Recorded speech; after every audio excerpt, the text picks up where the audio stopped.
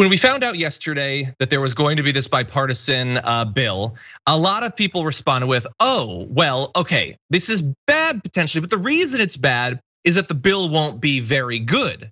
And I sort of questioned in that, that first video, is that the only way that this is bad? Because people are sort of taking it for granted that the bipartisan bill means that it can pass at all. They have five Republicans on board. First of all, let's not assume that those five Republicans are actually gonna vote for it. But even if they do, you still need at least five other Republicans. And that's assuming that none of the Democrats actually uh, uh, jump ship on this thing. Right. Like I even there was a meme that I spread on uh, Instagram. It's the you know the classic now Star Wars one of like they have a bipartisan bill, so you're gonna vote for it, right? You're you're gonna vote for it, right? Why why are people assuming that?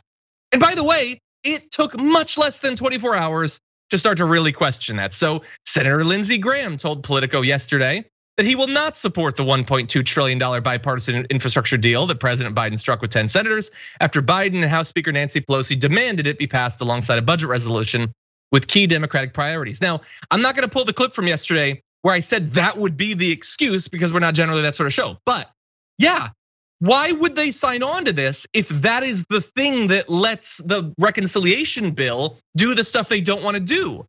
I, I think they're gonna see through that as a strategy. And indeed, Senator Lindsey Graham has apparently still put together enough to do that. And he had this to say if he's gonna tie them together, he can forget it.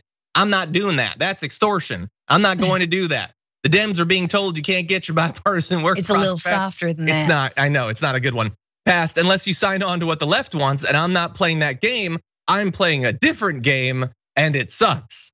He also added that most Republicans could not have known that Biden also planned to request a multi trillion dollar budget resolution, which will likely include blah, blah, blah. Wait, no, they, this is not new. They've been talking about that. What do you, what do you mean? He says, there's no way you look like an effing idiot now. I don't mind bipartisanship, but I'm not going to do a suicide mission. And uh, Mitch McConnell also said, no, we're not gonna do this. They're pulling the rug out from under the bipartisan reaction. So, but like they said all that stuff and everyone's still like, oh, you know, we have a bipartisan thing. What are you talking about? You just already lost at least two Republicans. Francesca, well, do, you, do, you, think it's gonna happen? I, is this just a negotiating tactic?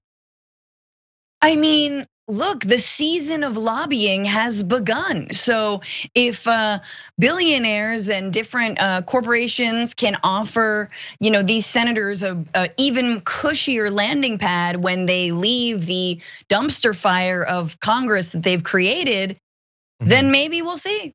Maybe I mean, you know, who knows? Remember, remember how Joe Manchin was asking that coalition or that like whatever billionaire think tank to basically give money to Senator Roy Blunt, like, hey, hey, give him, help him out so he'll vote for the January 6th commission. Well, that failed, but we'll see. Look, I mean, again, it is, it's lobbying and it's lobbying from the people as well. And some of the people who helped shape and craft and pushed for a lot of the things that were in this reconciliation bill too.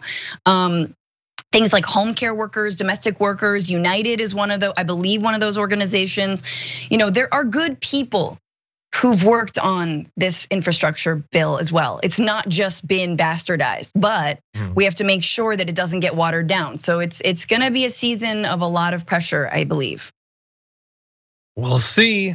We'll see. I just it it was bad if you assume that none of these obvious things are going to happen. Once you put those in like uh, maybe it's just a negotiating tactic. Maybe it's just to waste time. It's almost certainly just to waste time. Yes. And the Republicans are going to be trying to waste time, and some of the Democrats are going to be trying to waste time, and it's just going to drag it out and drag it out and drag it out, and it's going to be Easter, and we're going to be like, hmm, hey, remember Infrastructure Week? That was fun.